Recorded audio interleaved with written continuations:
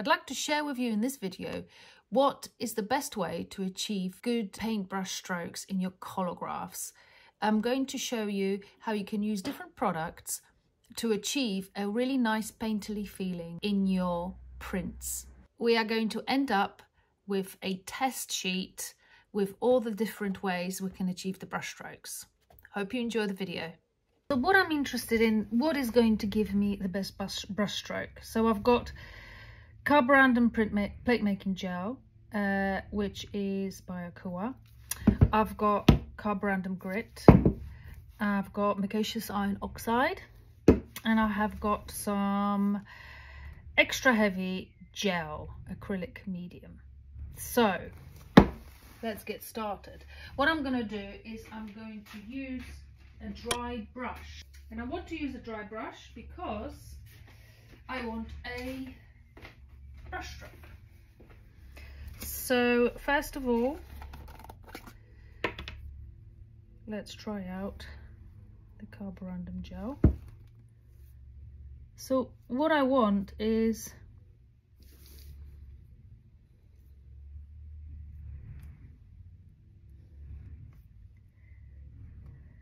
to see how, first of all, how um, dark it's going to get and but also how good are the brush strokes. Uh, then we're going to move on to micaceous iron oxide. It's a bit more runny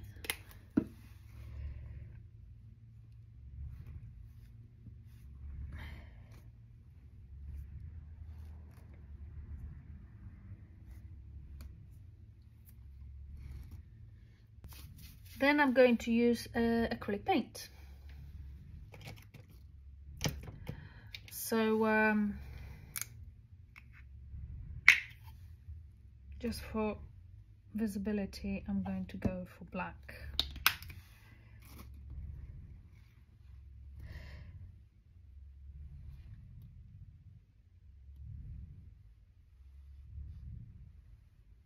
Um, just to make it fair, I feel like I need to do a bit more of that uh, with my carborundum gel.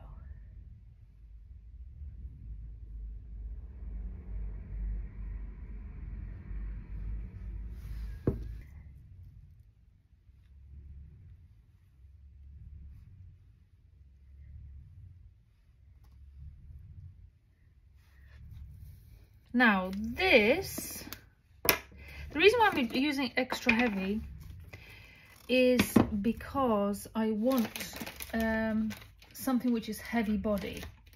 I don't want something which is too runny because if something's too runny, uh, I'm not going to get that sort of brushstroke effect as much. Um, that's my theory anyway. So this is for my carborundum grit.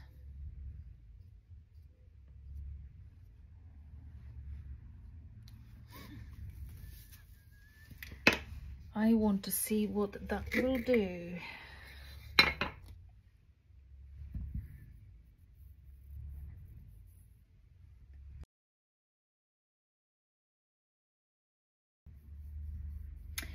Also, what I want to find out from this experiment is which one is going to be, give me uh, what value. Uh, so I suspect the darkest will probably be micaceous iron oxide and carborundum gel by Akua. Although I would be really interested to see which one's darker. That would be very, very interesting to find out. This will be fairly light tone. It's basically a bit like matte medium. So I suspect this will work a lot like matte medium. However, let's find out by actually um, using matte medium. I would like to see which one is lighter.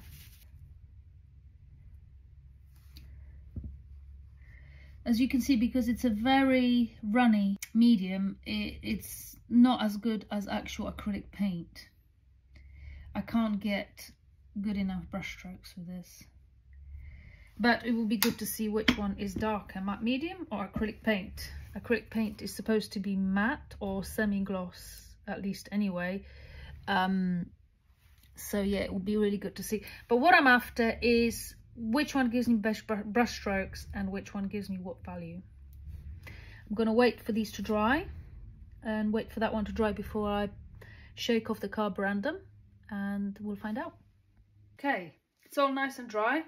It's time to test it. I've got some already ink, Akua purple ink rolled out. So I'm going to use that.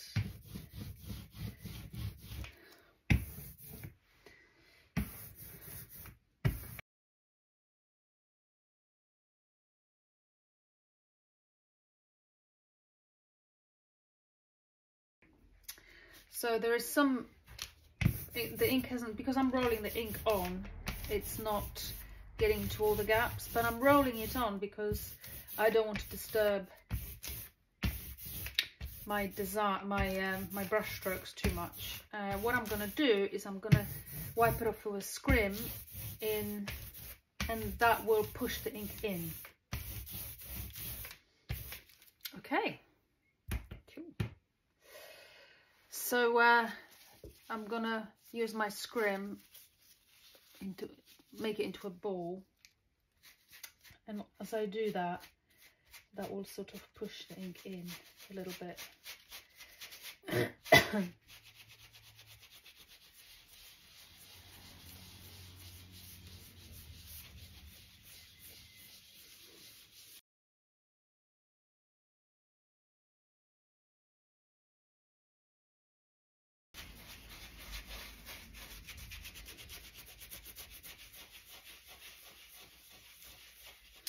This, although it looks dark, it won't be.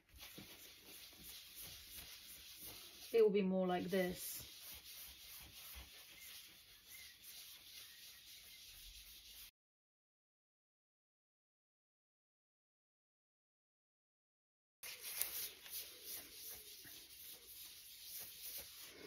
Okay, so um, what I'm going to do now is I'm going to do a final polish with just a bit of news newspaper.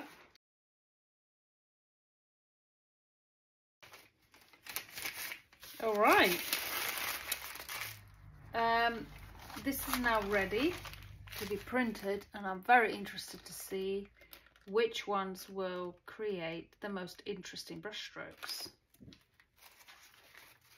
Let's go to the press.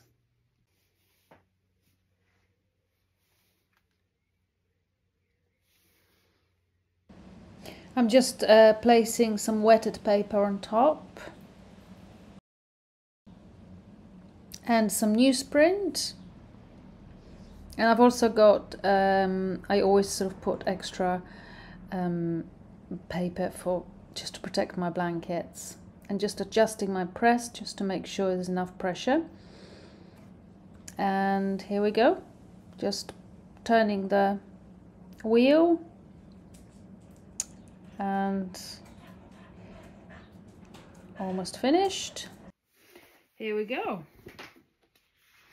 Let's see. What have we got?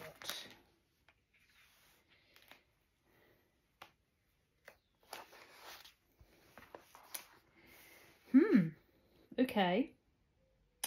So, that was Carborundum Gel by Akua. Let's get it close up.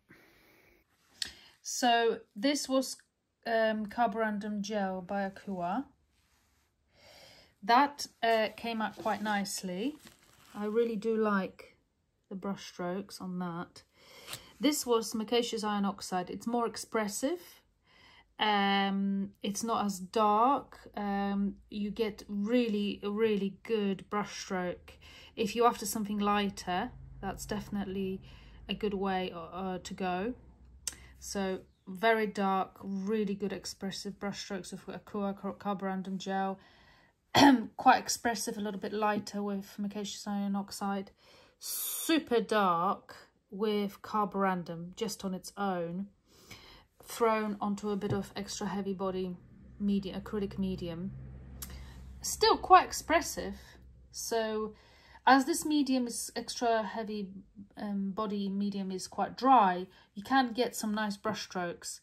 So very dark. This is acrylic paint.